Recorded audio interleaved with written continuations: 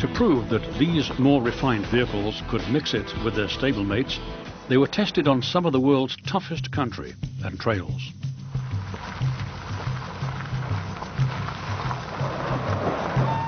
They crossed the Sahara, battled Panama's Darien Gap, traversed rough terrain from Alaska to the tip of Africa, all to prove that Range Rovers could go anywhere.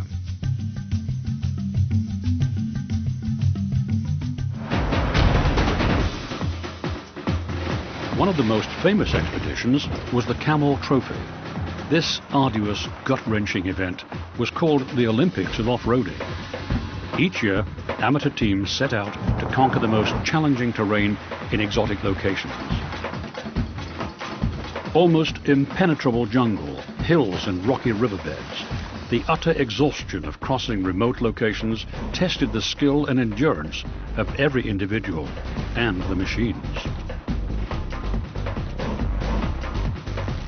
In 1982, eight two-man teams from four nations crossed New Guinea when the roads turned from track to muck to roaring rivers, the teams welcomed the bemused but skillful assistance of the local people.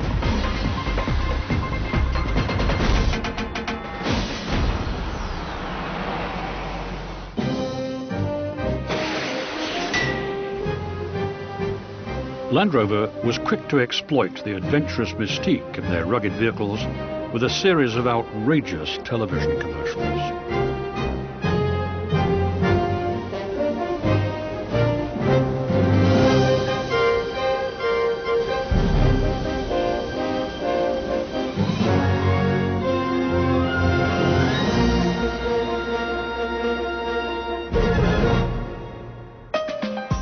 Land Rover had conquered markets worldwide, except one, North America.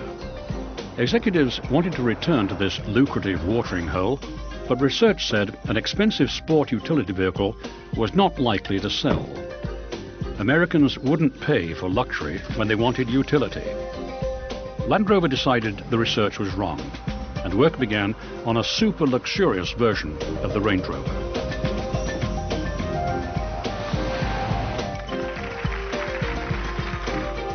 In 1987, the company offered American buyers an exclusive Range Rover, loaded with options never before seen on a 4x4. Power seats, locks and windows, a sunroof, leather, wood trim, and a premium stereo system. The gamble paid off. It sold out.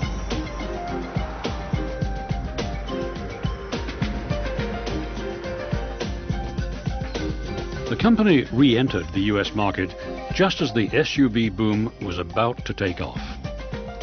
Range Rover stood out as the only upscale model in the pack. An expedition was mounted to prove that it was more than an oversized family sedan. In 1989, a convoy of eight Range Rovers made the first thousand-mile crossing of North America's Continental Divide by motor vehicle.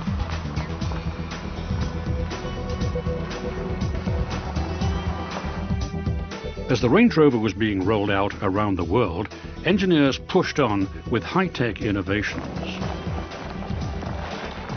They pioneered many four-wheel drive technologies to enhance safety and control. Tough machinery to keep the car going where you wanted it to go.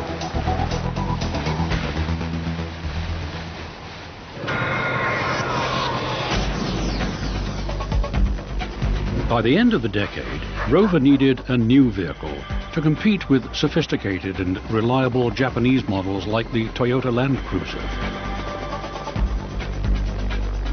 They wanted a 4x4 that had the creature comforts of a Range Rover with the ruggedness of the original Land Rover. The result was Discovery, launched at the Frankfurt Motor Show in 1989.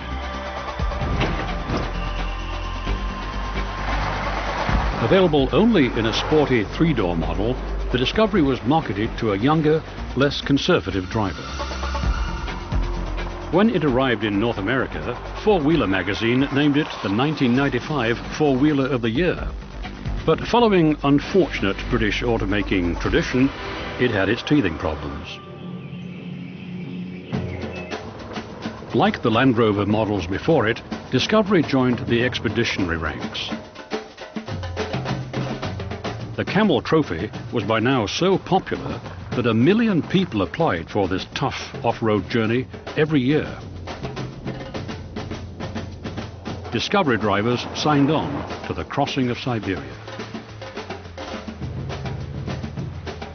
They wanted to prove that it was a genuine Land Rover, worthy of the legacy that began with the original Land Rover, now dubbed Defender.